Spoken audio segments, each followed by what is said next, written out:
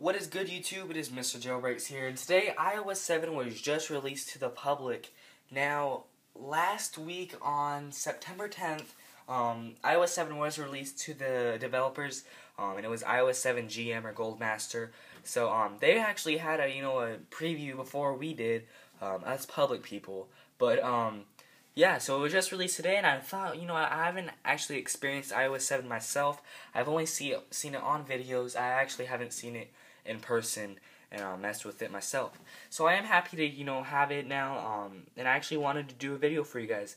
Now, although there are a ton of new features in iOS 7, I can't go over every single one because I am not a G. I don't know, I don't know each and every new feature. Now, if you guys would like to know each and every new feature, um, there will be a link down in the description below that will lead you to a video that has every new features in it, um, and that displays it and everything. So anyways guys, let's jump right into it. Like I said, I will not be showing every single feature, I'll just be showing the main ones, and the ones that I enjoy and I like that's new about iOS 7. So let's jump right into it. Now the first new, um, the first new thing about iOS 7 is the, one of the biggest ones, and that is multitasking. So currently I do have a um, settings application open, and you guys can see that instead of having that normal um, multitasking tray, you guys now have a full dis uh, full screen display of what applications you guys have running. Another cool thing about this um, or multitasking is you guys actually have a transparent transparency. You guys have your background. You guys actually have a view of what what you were viewing in that application. So you can see the last thing I was viewing inside the settings application was the wallpaper section. You guys can see it right there, and you guys can also see the uh, settings application or the application icon itself right there. If in order to remove it, all you have to do is just slide up. You guys can see it then removes it. All you have to do just return to your home screen is just click the um, springboard or the, your home page itself. Now another new feature that was added into iOS 7, which is a minor one, nothing too big, um, and it was also taken from a uh, Cydia tweak or jailbreak tweak, was this right here. You guys can see that the clock application, I don't know if you guys can tell, but that red little thing right there is moving. If you guys keep your eyes on it, you guys can definitely tell it is moving. Um, and that that's that's another new feature. Um, it was taken from a Cydia tweak. I do not remember the exact Cydia tweak or what it was called. I forget. I think it was like law. Uh, I don't even know, man. I just know it was a Cydia tweak. Um, and that was an, another new feature that I kind of liked. And little extra things like that do make me like iOS 7. Now, obviously, you guys can tell from the springboard that iOS 7 has a bunch of new icons. Everything's different about iOS 7. I forget what they actually wanted iOS 7 to be called or what they wanted to be known for, but you guys can see it's a more simplistic um, icons, you know, and it's a lot of people are hating on it because it, they don't like it because it looks kind of like more anime. It looks more um, animated, cartoonish, if that's a word. I don't know, but they just don't like the new theme. Now, it kind of looks like I'm running a Winterboard theme right now, but the fact that I know that this is iOS 7, of course, you know, I'm not going to know, or obviously I know it's not a Winterboard theme. Now, in all the new stock applications such as App Store, iTunes, and most of the stock applications will be featuring this new white um, layout or icon skin, or you know what I'm saying. You can see now it's all white rather than being that grayish linear thing. I don't even know. It was just like a gray theme. Um, it is now white. Now, while we're in the settings application, I'm going to show you guys another new feature, and that is uh, wallpapers. So, um, they now have the ability, you guys now have the ability to choose from a dynamic wallpaper and a still wallpaper. Now, dynamic wallpapers, I don't even know what dynamic means. I know because, obviously I know now because, you know, the, all these wallpapers are moving. But before I even knew about these wallpapers, I didn't know a thing about dyna what dynamic was. So right now I'm going to click on one, guys can see that it is moving, it's more of a video. Um, I really like it, you know, it's a cool little extra thing, kind of reminds me of Android, so, you know, they are, um, Apple is competitive with Android. Um, you guys have all these colors to choose from. Um, I think they added those other colors to, uh, for the iPhone 5C. Also, in the regular stills wallpaper, you know, the wallpapers are, that are just regular images, you guys can see that we do have a bunch of new ones. Um, currently, I'm rocking this one here. You guys can see you have all these. You have one, two, I don't want to count them. There's just a bunch you guys can choose from, at least 20. Um, so they did remove a lot of the uh, original wallpapers that have been in there since iOS 1, you know, all those original ones, they did remove those. Um, but yeah, so that was the wallpapers, um, dynamic and stills. Yeah, as you guys just saw that animation, when I go and open up an application, you guys can see how it kind of zooms in, and then when I close out of it, kind of, oh, that doesn't count. But I kind of close out of it, it kind of zooms out, so I'll show you guys that now. As you can see, kind of closes out. I kind of like that. Um, let's let me close that application. Um, another new thing I liked was Siri, and I'll open up Siri real quick. Siri does have a new voice, um, more realistic rather than being a little um, robotic-like, and it has a new um, layout um, and display itself, or theme itself. So I'll show you guys that now. Hello, Siri. So you guys can see there it is. It has Hi, a new Dakota. layout. There's my name, Dakota. Um, you guys can see before previously it did have a transparent thing. If I click this um, qu uh, question mark there, you can see you know if you need help if you're new to Siri, you can ask different things like what movies are playing.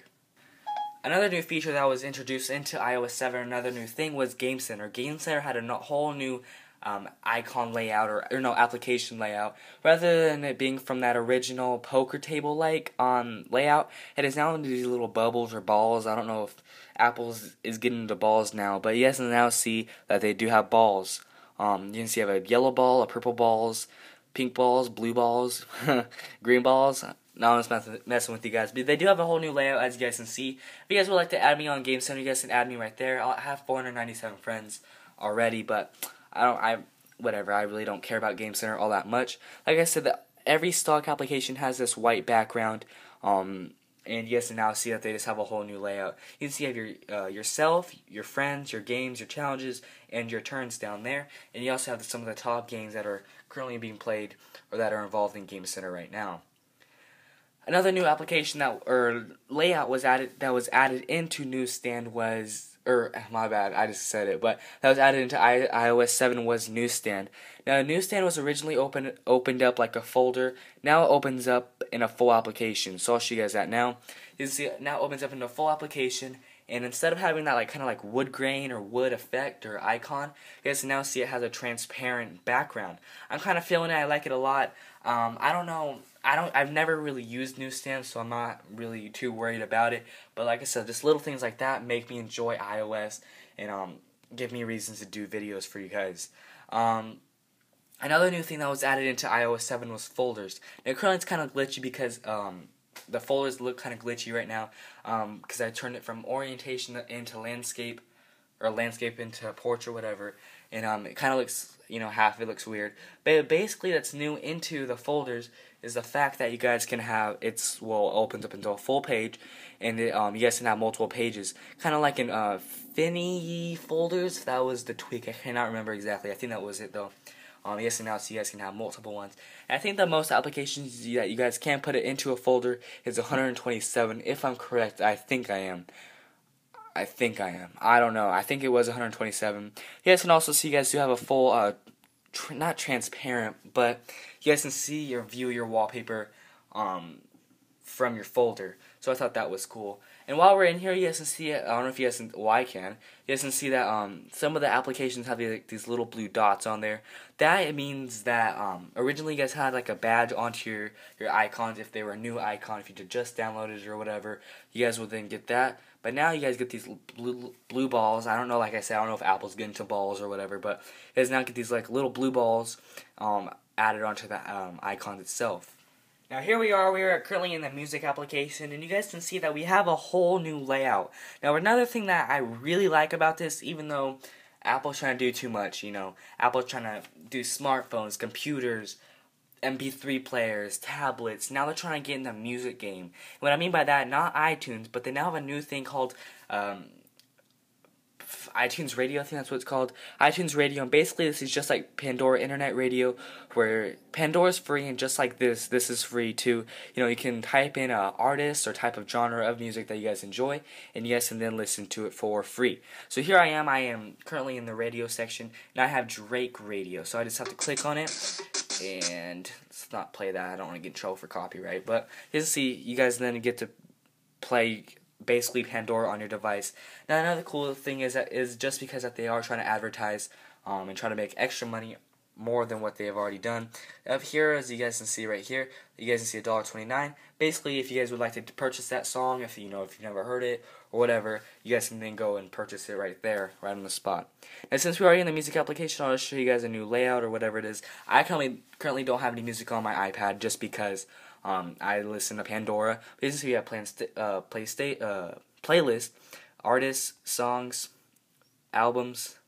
Well, I guess I do have music, genres, compl- I don't even know, composers, and etc. So you guys can see that they did redo that um, uh, music application, and I added iTunes or iTunes Radio into now it. my camera's about to die. It's at uh, four percent. I told I would told myself I would try to finish when it's at three percent. So I gotta hurry up and finish this video for you guys. But I am gonna finish it, guys, because I love you. Um, so another new thing that they added into iOS 7 was the new Spotlight search. So can now see if I pull down, well, if I pull down for my springboard right here anywhere, if I just pull down, I can then begin to search for my spotlight. You guys can see it says, says search iPad. I can then to search in whatever I want, which is another cool thing that is added into iOS 7. Let's pull that, take that out. Um, another thing is, is as you guys can see, if I pull down my notification center, you guys can see here we have current events or current events, anything I want. You guys can see it for Friday, September 13th. Most clearly, currently it's 82 degrees, and uh, the high today was 88. Um, you can see you do have your weather. You can have your see your all and your missed notifications. Um, kind of cool. I never really was a big fan of the notification center, and for the iPad users, they did make it full screen.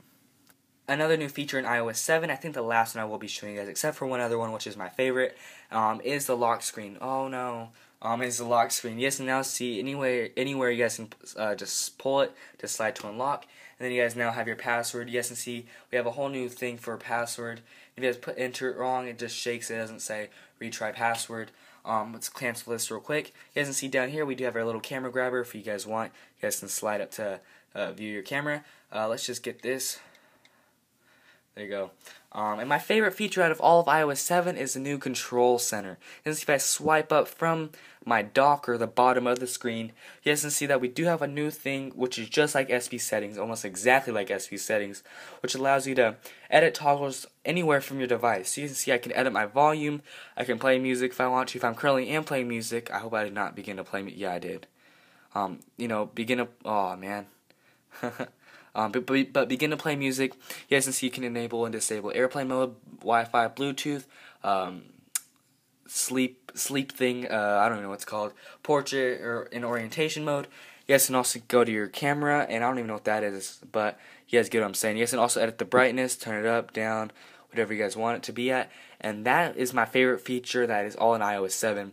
Now, any iOS 7 was uh, kind of a different, at least the uh, layout skin or the icon skin was a lot different than iOS 6. iOS 5 to iOS 6 was a big difference, or maybe a minor, I don't even know. But the point is, iOS 7 was not a big difference than what it should have been. I think that they should have added way more stuff into it, and I would have really enjoyed it. Like I said, I did not review every single feature in iOS 6, or iOS 7, my bad. Um, that I would like to. I don't even know all the features. These are just some of the basic features that I have noticed and that I enjoy and like. So anyways, guys, hope you guys enjoy this video. This is Mr. Jailbreakz. You guys go and go install iOS 7 for yourself and comment down below what you guys, what your guys' favorite feature is of iOS 7 and um if you guys even like iOS 7. Out of 5, I give it about a 3. They could have done better, but it's not bad. Um, and yeah. So anyways, guys, rate, comment, and subscribe. And if you guys would like to learn how to install applications on your iDevice without a jailbreak, uh, there will be a link down in the description below. Subscribe, uh, subscribe somewhere, and give this video a thumbs up. It uh, helps out a ton. Anyways, guys, rate, comment, subscribe, and I'll see you in the next video. Peace.